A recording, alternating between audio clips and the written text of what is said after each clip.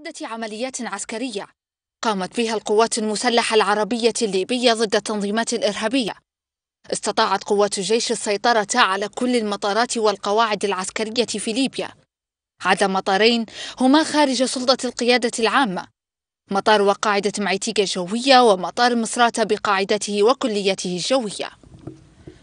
مطار وقاعدة معيتيكا هو مطار دولي يتضمن قاعدة جوية تبعد 11 كيلومترا عن شرق العاصمة طرابلس.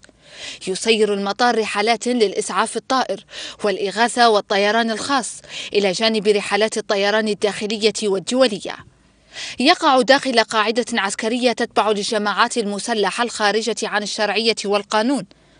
حيث تمثل قاعدة المطار مهبطا للتجارة الدولية للأسلحة وتهريبها لشمال أفريقيا ولبعض المنظمات الإرهابية المتواجدة بأوروبا.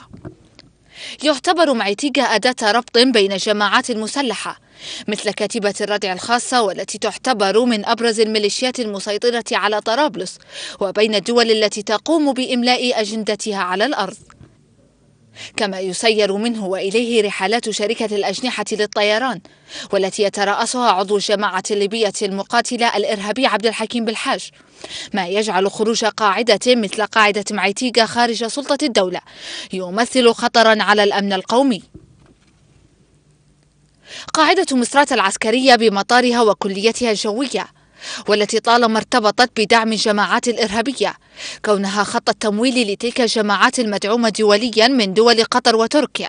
وخط العبور لها ولمنظمات إرهابية تتبع لتنظيم القاعدة في المغرب العربي. من خلال قاعدة مصراتة ينقل الجرحى الإرهابيون إلى تركيا.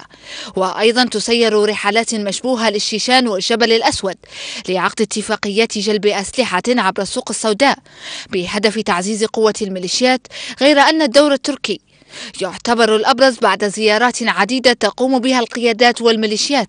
آخرها ظهور المدعو صلاح بادي في مظاهرات مؤيدة للنظام في تركيا. ولم تقف انتهاكات الأمن القومي من قبل الإرهابيين والعصابات المسلحة إلى هذا الحد. بل تم إنشاء شبه قاعدة استعمارية عسكرية تتبع للقوات الإيطالية بدعوى مستشفى ميداني لجرح ما يسمى بقوات البنيان المرصوص في حربها المزعوم ضد تنظيم داعش الإرهابي في سرت.